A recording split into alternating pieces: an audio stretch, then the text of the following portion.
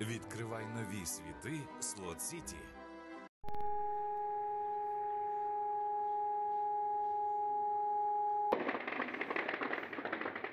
Еб... а можно поспать немного, не нахуй? Минувшей ночью более 100 дронов атаковали объекты на территории Рашистской Федерации. В Краснодарском крае гремели мощные взрывы. О, слышь? На эстакаду прилетело. Все, нет эстакады у нас. Да, наши визуары горят. Тут все горит вокруг. Это станция Новороссийск. Железнодорожная станция. Тут бочки. Только что взорвался.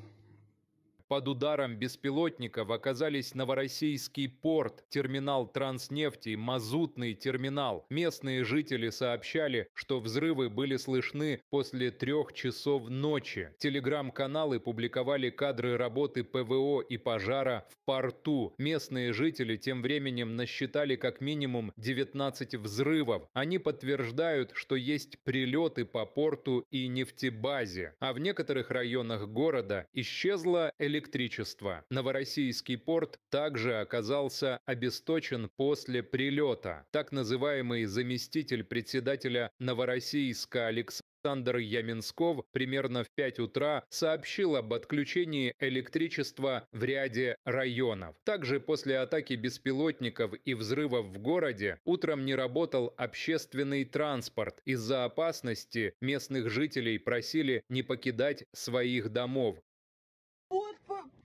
По- порт взорвали, порт взорвали наш, наш порт взорвали.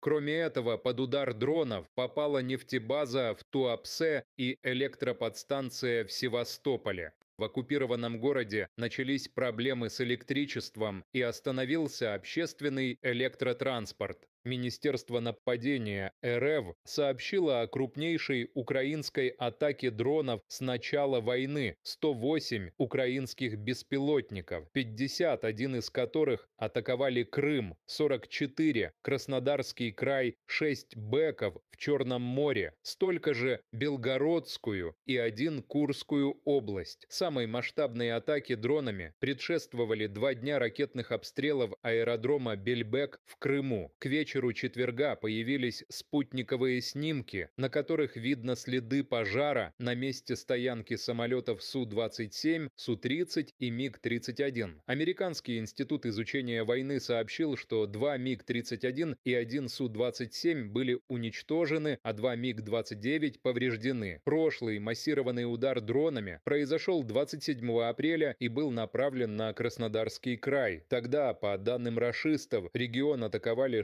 66 беспилотников. Вот он, вот он, вот он летит. Я его вижу. Сейчас его будет. Нихуя он сейчас падать будет. Пиздец. Нихуя себе. Гандон ебаный. Но вы понимаете, что это такое происходит или нет? Кто-то понимает это? Что случилось? Почему все это происходит? Я не понимаю, почему. Вот потому что, э, ну потому что возмездие, именно удары возмездия, именно вот такое э, проявление нашей ненависти, абсолютно святой ненависти. Лишить их ощущения безопасности и сытости – это задача даже более важная, чем, условно говоря, уничтожить такое-то количество танков или такое-то количество БТРов. Я уверен, что после вот этих испытаний украинский народ, ну-ка, наконец-то, может быть, дойдет. Может быть, придет все-таки понимание о том, кто, кто виноват. За это они будут сидеть и без газа, и без света, и без всего. Они должны там и замерзнуть, и сгнить. Герань продолжает свести по всей территории временно оккупированной нацистами Украины. Удары наносятся фактически каждый день, иногда по нескольку раз. Главные цели – транспортная и энергетическая инфраструктуры. Введение веерных отключений по городам и весям Незалежной – это решение Киева, а не главное следствие наших ударов.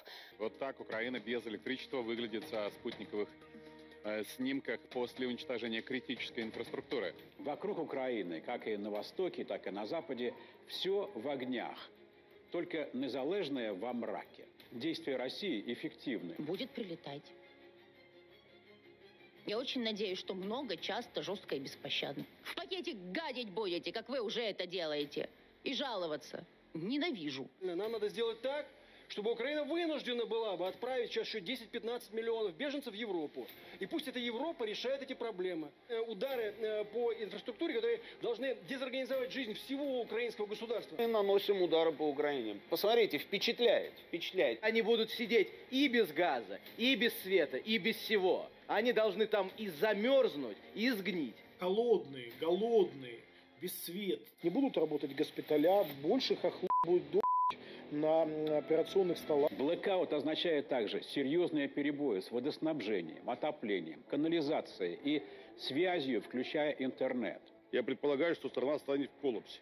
И город Киев через неделю после отсутствия электричества заплывет в дерьме, извиняюсь за выражение. С явной угрозой эпидемии. Еще немножко, и мы эту деэлектрификацию Украины проведем в полном объеме, чтобы на этом точку поставить и больше не мучиться сегодняшние удары и еще три таких просто вгонят всю незалежную в каменный век. Это надо до конца уничтожить всю энергетическую инфраструктуру Украины, погрозить ее в 16 век. Ну, волнение, там, ожидание холодов, там, голода, не знаю, чего угодно, потолок ледяной. Конечно, это ждет Европу. Это холодомор. Когда полетело а по как не надо? инфраструктуре. А как и, не надо? не долетело еще. То, что... Но надеюсь, что и сегодня то, что, то, что они заерзали, то, что они так на это реагируют, показывает, э, говорит нам только об одном. Мы правильно делаем. Мы попали в яблочко. Вот это и надо было делать с самого начала. Все делается так, как и запланировал генеральный штаб. Просто по плану. Вот по графику.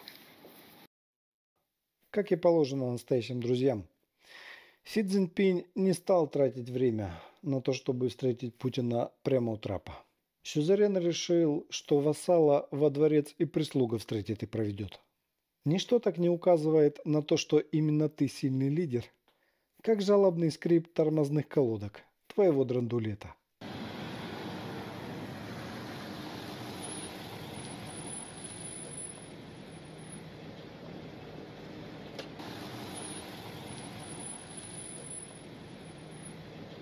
Водитель Голиковой говорит, что такое ведро бы не купил, даже если бы цену опустили до 10 миллионов. За 195 тысяч километров пробега двигатель в Аурусе поменяли 6 раз. Подвеска разваливается, вся электроника слабая, бензин жрет как лошадь. Спасибо. Спасибо. Гость, как говорят на Востоке, гости шаг хозяина. Ну, честно говоря, ну вот именно так все и выглядит. Министра финансов посадили в автобус к журналистам. Чтобы не надоедал своими просьбами, разблокируйте банковские платежи. Все программы зависят, конечно, от тех любезных предложений, которые китайский президент и его команда сделали нашему президенту. Переговоры прошли очень хорошо. Путин, пусть и не с первой попытки, но все-таки убедил Си Цзиньпиня покупать российский топинамбур и говяжьи хрящи. Участникам делегации подарили золотые, серебряные и голубые значки. Вот, вот интересное кино. Мы так не договаривались. Размер пакета составляет 61 миллиард долларов.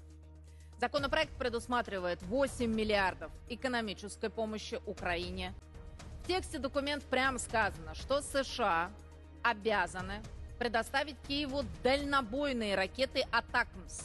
Это серьезное оружие. Те самые ракеты, которыми Украина накануне ударила по нашему военному аэродрому Джанкоя.